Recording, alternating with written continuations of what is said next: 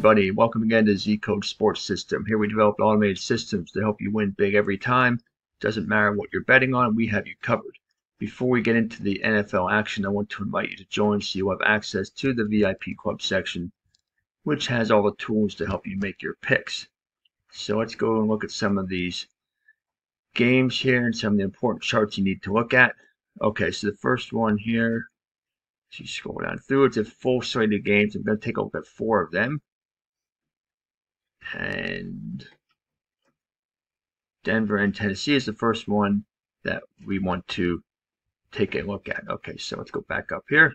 All right, so you can see Denver uh, is coming in ice cold up. You can see they won their last game, but they were two and four over their last six. Tennessee is burning hot down. You can see they're coming off of a loss and five and one over their last six. If you look at the odds chart here, 1.67 to 2.18 in favor of Tennessee, which translates to a line of two and a half points, and you can see the over/under is at 38.5. If you look at the score predictor, we got Tennessee 38 to 14 with confidence in prediction of 71% that would be well over the line if that would be the case. But if you take a look at the the uh, the trends here, you see Denver under the last four games, Tennessee under the last five games. Good indication to go with the under. If we look at the power ranks indicator, you can see here that on this chart here that Denver was at 31 and they have dipped considerably since the beginning of last month. And okay, well that chart has been gone now. Let's bring it back up. Okay, since the beginning of last month, and they're now at plus 6, and Tennessee is up at plus 28. Take a look at the stability factor. How consistent have the teams been with regard to their favorite underdog status? You see both of them are coming in at plus 1, so they've been moderately stable. So in the end, I like Tennessee in this one at home, uh, but I think this will be a lower scoring game to go with Tennessee and under the line in this one.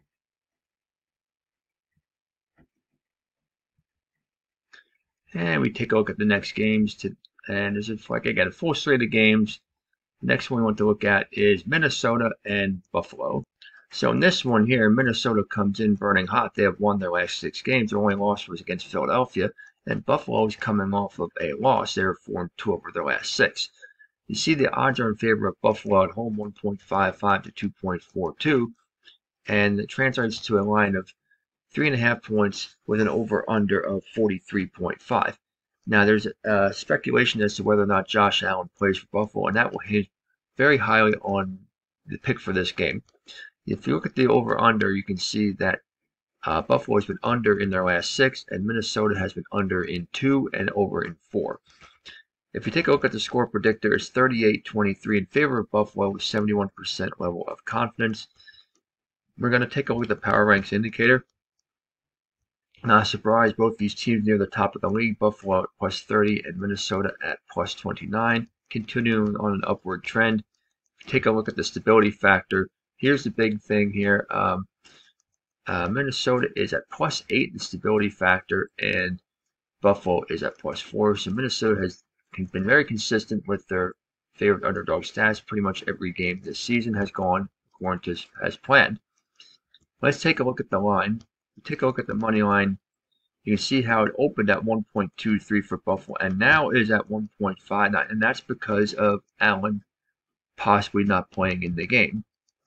Um, so what I'm thinking here is if Allen plays, we are going to go with Buffalo and the over. If he does not play, take the Vikings and the under. The next one we want to look at here is at the Colts and the Raiders. Have a huge slate of games. Of course, we had the teams on the bye, but there's a lot of teams that are playing. Cardinals and the Rams. The Cowboys and the Packers. This is the next one we want to look at. The Packers coming in, having lost five in a row, an extremely unfamiliar situation for them to be in. But yes, they have lost their last five. They're coming in dead stats while the Cowboys are burning hot. They have won five out of their last six. The odds are in favor of Dallas 1.48 to 2.612, translates to a line of 4.5 points with an over under of 43.5. And you see here it's 57% to 43% in favor of Dallas. The score prediction is a blowout in favor of Dallas 60 or 60 41 to 18. Confidence in prediction of 60%. I don't think it's going to be that big of a margin. There's no question that Green Bay is having their issues at the moment. Um, they have been under in three of their last four games, while Dallas has been under in three of their last five games. It could be an indication that this game goes under the line. Um, let's take a look at the power ranks indicator. See Green Bay on, on a sharp downward trend at plus 8, while Dallas is at plus 26. And if we look at the uh, movement in the line, let's take a look at the money line. And that is the wrong game. I don't know why it went to that, so excuse me as we go back up to the correct game, which is yeah, I don't know what happened with that. Okay, so let's anyway, let's let's go back down to the Dallas game. I don't know what, what happened there, so let's go back down to Dallas. A little bit of a technology glitch there, but we will get right back at it. And here we go. Okay, let's take a look at the volatility oscillator. You can see here the stability factor. Green Bay has not been very consistent. They are minus one, while Dallas is at plus two in the stability factor. Now we want to take a look at the movement in the line.